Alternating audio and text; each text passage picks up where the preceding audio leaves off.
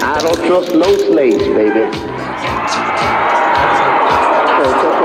Fan favorite, the J Y D, the junkyard dog.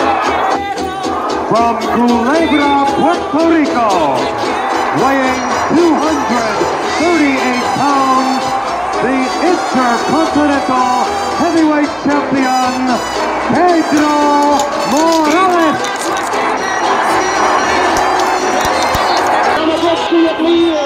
his weight 260 pounds, the heavyweight champion of the world, Bruno